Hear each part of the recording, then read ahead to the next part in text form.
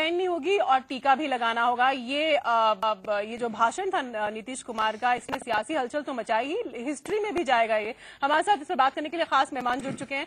Sabir Ali JDU के नेता हमारे साथ जुड़े हुए हैं। साथ ही बीजेपी नेता आरती मेहरा हमारे साथ मौजूद है। रीता बहुगुणा जोशी नेता कांग्रेस की लखनऊ से हमारे साथ बनी हुई है। और स्टूडियो में हमारे साथ मौजूद है वरिष्ठ पत्रकार अरविंद मोहन और हमारे पॉलिटिकल एडिटर मनीष अवस्थी। सबसे पहले साबिर अली साहब आपके पास। फूल ले लिए तस्वीर आपने देखी फूल ले लिए।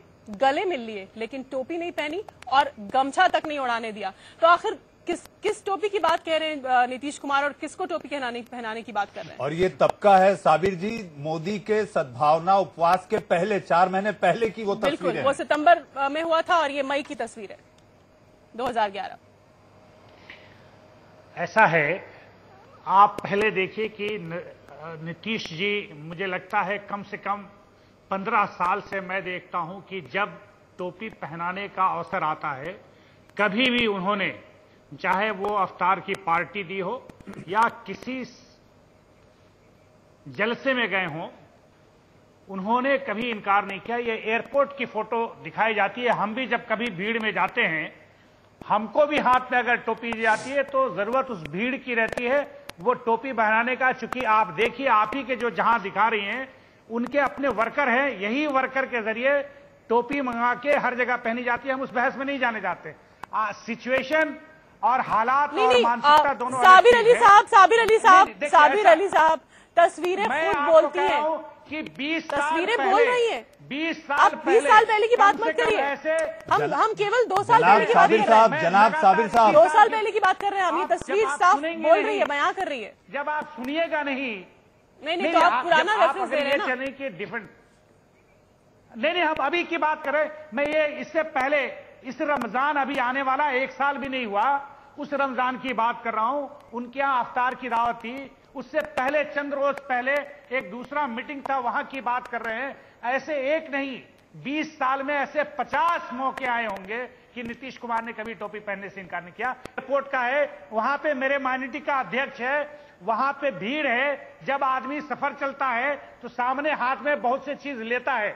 जब बैठा रहता है मौके रहते हैं स्टेज सजा जाते हैं वहाँ इनका सिचुएशन को आप पलट के दिखाएँगे तो सच्चाई नहीं दिखाई तो ये ये ये जो ये जो ये जो संयोग है नहीं नहीं ये, आप भले जो दिखाना है। साबिर अली साहब ये ये संयोग नहीं नहीं जिसमें आप असहज हो रहे हैं साबिर साहब साहब ये आप असहज हो रहे हैं वो आपको ठीक नहीं लगता। ये संयोग तो नरेंद्र मोदी के साथ भी हुआ होगा जब उन्होंने टोपी पहनने से इनकार किया फिर उसको लेकर इतना बड़ा मुद्दा क्यों बनाया गया? मैं और उन्होंने जो बात कहा, साफ़ गोई सी क्या, उन्होंने किसी पर टिप्पणी नहीं की, उन्होंने देश की बात की, और मैं समझता हूँ कि सच्ची और अच्छी बात की कि इस देश में हर लोगों को जब राजनीति करनी है तो सबको साथ लेके चलना होगा, टीका भी लगानी होगी, और टोपी भी पहनना होगा। हम लोग भी दौरा करते हैं, हम लोग छोटे नेता हैं, हम लोग छोटे वर्कर हैं लोगों के बीच जाते हैं जैसा वहाँ सिचुएशन भीड़ की रहती है। आप देखिए वहाँ पे मैं देख रहा हूँ आपके स्क्रीन पर जो अब्दुल सलाम है हमारे पार्टी के वैसे कम से कम दस ऑर्गेनाइजेशन किए होंगे जहाँ टोपी नीतीश कुमार जी पहन के बैठ नहीं नहीं बात टोपी की हो रही है साबिर साहब। साबिर साहब बात टोपी की हो रही है और नीतीश जी ने गुजरात को लेकर चार से पाँच ऐसी टिप्पणियाँ की जो सीधे मोदी को सांप्रदायिक करार देती हैं। नहीं नहीं नहीं।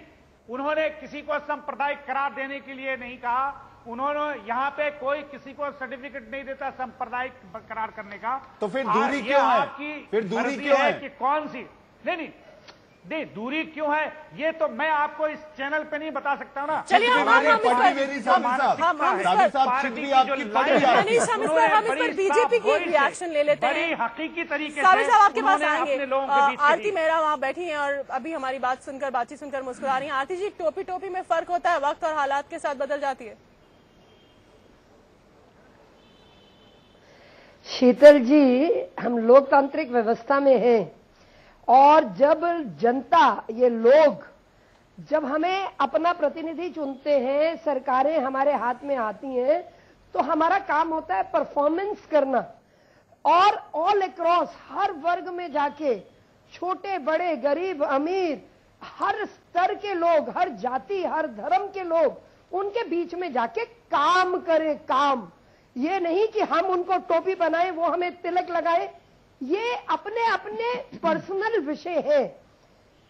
लेकिन आज ज़रूरत है क्या जेडीयू जो हमारा एलआई है जिसका हम बड़ा सम्मान करते हैं जो हमारे साथी हैं हम उनको अपने साथ लेके आगे बढ़ के 2014 की लड़ाई एक साथ लड़ना चाहते हैं जिनके साथ हमने बड़े लोगों की पूरे विश्वास के साथ बिहार में एक अच्छी सुदृढ़ सरकार बनाई है जिसमें हम अच्छे काम कर पा रहे हैं तो आज ज़रूरत है कि हम इन बातों में उलझे लेकिन लेकिन आरती जी लेकिन आरती जी